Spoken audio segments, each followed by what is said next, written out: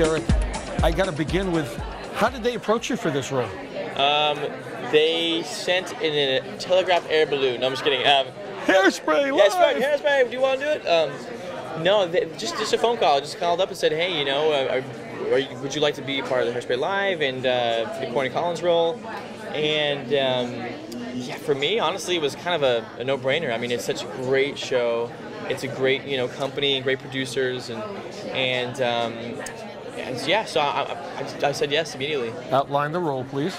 Well, Corny Collins. I mean, he's the host of the, you know, the show, and it's it's kind of a, all kind of that's sort of like the the, the center of of where it all kind of goes down. But saying that, uh, it's. Uh, it's a very relevant story, you know, about you know integration, and um, it's kind of based on a true story.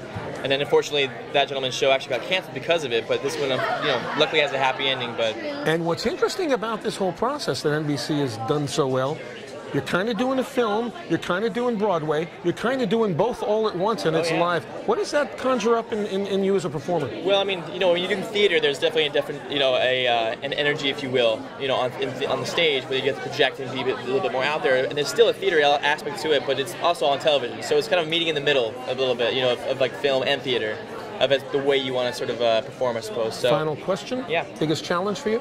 The biggest challenge. Uh, don't know. I don't know. I, am I'm, I'm just excited. I guess I don't know. I'm excited. There's not a the, the, the meter's not going to rise on you. You're just going to be. I'm just yeah. Smooth no, no, no, no, no. for me, uh, the, the, what I'm excited about is being around such amazing performers because they just they're they're just going to elevate. You know, they're going to elevate me as a performer and elevate everybody around them, and so and we're going to elevate each other. And I think that that's what I'm excited about. Continued success, Thank Derek. You, man. Thank Appreciate you, man. Thanks, Congratulations. Sir. Thank you. Tell me what this is like.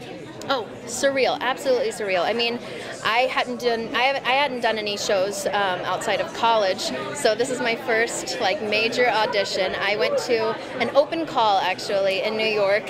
Over 1,300 girls were there, and I was 344 in line.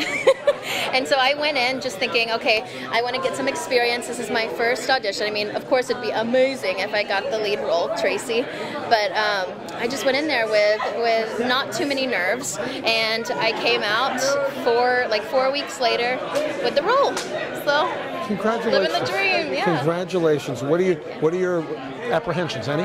Well, I'm just excited to work with this amazing cast that I've looked up to for so long. Every day they're announcing someone new um, who's just incredible. And yesterday we had the first table read, and um, I was sitting in between Harvey Fierstein and Ariana Grande. and Harvey Fierstein is actually playing my mom, Edna. He won a Tony for the role um, on Broadway. And uh, Ariana was sitting to my left, and she just held my hand during the table read, and I was freaking out. How many times had you seen the show, or had you seen the show? Yeah, no, I hadn't seen the show before. I, would seen the movie a couple of times, but um, since I lived out in Texas, I couldn't just fly to New York whenever I wanted to to go see the show. But so I really wish that something like this on national television would have been around when I was a kid, so I could see Broadway on TV, which is exactly what's happening. So we're in Texas. We're in Texas, Houston, Houston, Texas. So what are they saying back in Houston? They don't know what to expect. They're freaking out, and my parents are freaking out. And my mom, she works um, in HR at NASA, and my dad is uh, he works at a hospital. So I don't have any performers really in my family. So this is all new to everyone, including me. You're going to do most of the shooting or all the shooting here or New York? Yeah, no, we have rehearsals from October through December, and then on December 7th, it's completely live, so there are no. Here. Here. It's going to be done here. Sometimes they do it in New York. It's going to all be done yeah. here in Los Angeles. All in Los Angeles. How scared are you? I'm not too scared, actually, that, which kind of makes me scared that I'm not nervous at all. You know you're going to get that question from everybody infinitum now because it'll be live and I, I, just can see from your attitude, you're going to sail through and have a ball. Oh, thank you. Yeah, I'm I'm already having a ball. That's fantastic, and, and and onward and as they say, onward from here. Thank you so much. We're going to look forward to seeing you on Hairspray Thank live on NBC. December 7th. Thank you. Thank you.